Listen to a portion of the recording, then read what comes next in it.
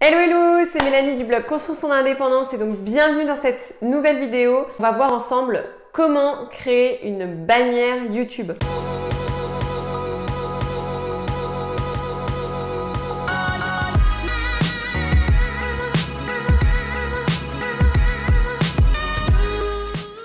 Alors lorsque j'ai créé ma chaîne YouTube, au départ il fallait que euh, je mette en place l'agencement euh, du design. Donc je savais pas trop quelle couleur choisir, etc. Donc j'ai fait des tests et puis là j'ai trouvé une couleur qui me correspond à peu près bien. Euh, voilà, donc c'est sur un marron clair, on va dire un marron noisette. Lorsque j'ai créé ma première bannière, c'était complètement nul. Euh, j'ai pas mis spécialement de euh, photos personnelles alors que j'utilise plutôt le personal branding donc c'était un peu euh, nul. J'avais pas euh, de phrases, de titres qui expliquaient en, en, en, un visuel ce que je faisais. Donc les gens quand, ils arrivaient sur ma chaîne ils comprenaient pas trop de quoi ça allait parler. Et en plus de ça, j'avais pas totalement compris les différentes échelles de mesure que tu peux avoir quand tu fais une bannière YouTube. En fait, ce qu'il y a, c'est qu'il faut respecter euh, ces échelles, puisque lorsque vous regardez YouTube sur la télé, sur euh, votre ordinateur portable ou sur votre téléphone, c'est pas du tout la même chose. Mais par contre, quand vous faites votre bannière YouTube, c'est super important de le prendre en compte. Parce que si vous le faites en format, euh, par exemple, je dis n'importe quoi, vous faites votre bannière comme si elle allait apparaître sur des télévisions, eh bien vous allez vous retrouver avec des grandes images et lorsque vous allez regarder cette même image sur votre portable, eh ben, vous n'allez pas comprendre, le, par exemple, votre message va être coupé en deux.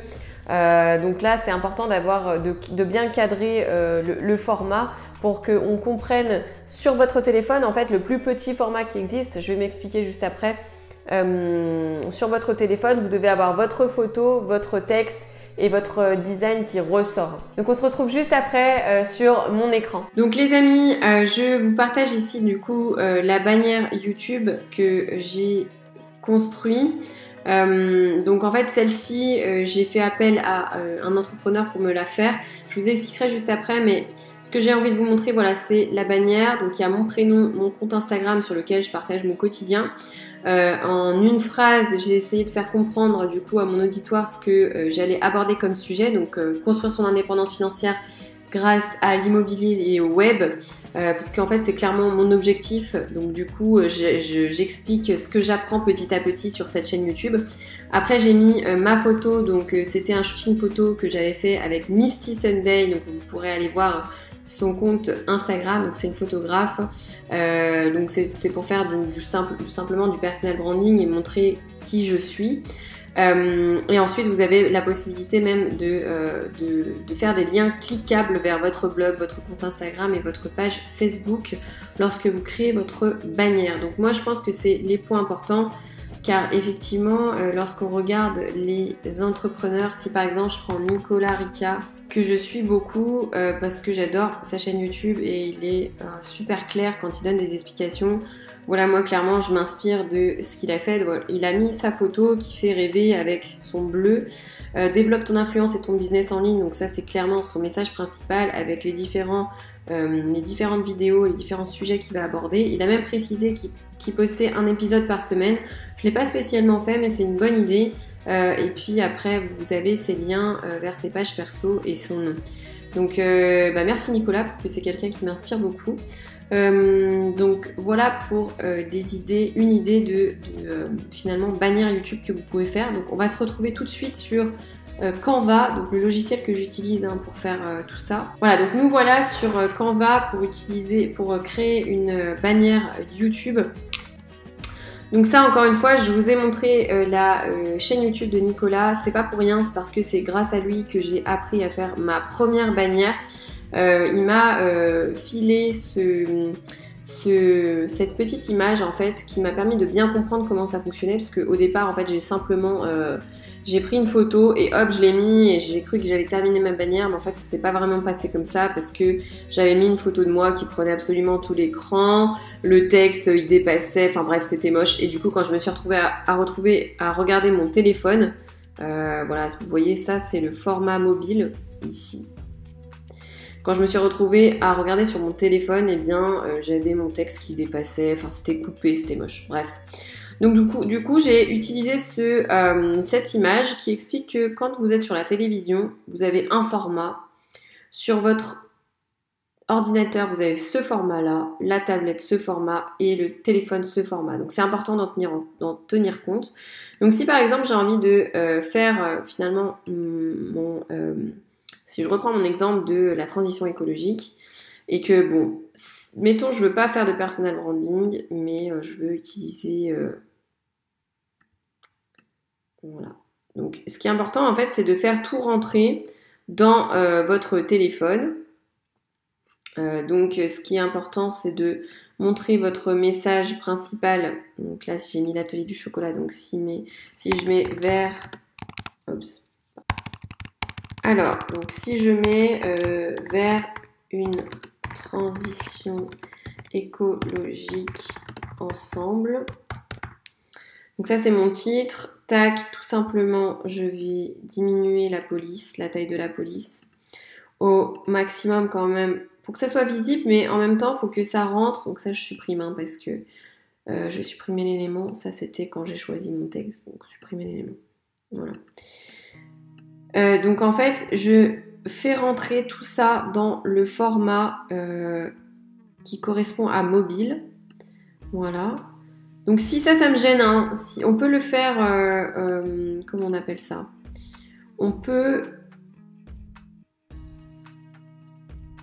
Voilà, on peut le rendre un peu plus transparent pour mieux voir finalement notre, notre titre à nous. Donc si par exemple je suis dans les tons de vert, et eh ben on va rester dans les tons de vert. Vers une transition écologique ensemble, donc c'est mon message, c'est mon ma photo. Et je peux aussi rajouter, comme Nicolas l'a fait, une petite euh, un petit texte. Donc là, je dégroupe. Je, fais ça à chaque fois.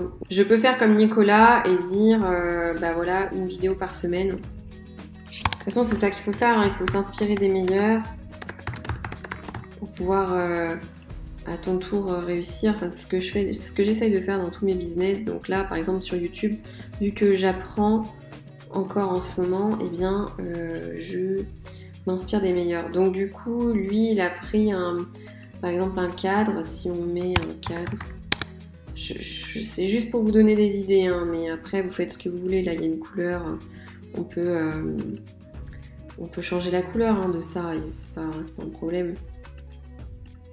Hum, alors, peut-être pas sur celui-là, du coup, mais... Bon, c'est pas grave, on va, utiliser ça, c'est juste pour donner un exemple. Voilà, donc là, si par exemple j'ai envie de faire un cadre, euh, autour d'une vidéo par semaine, eh bien je peux le faire.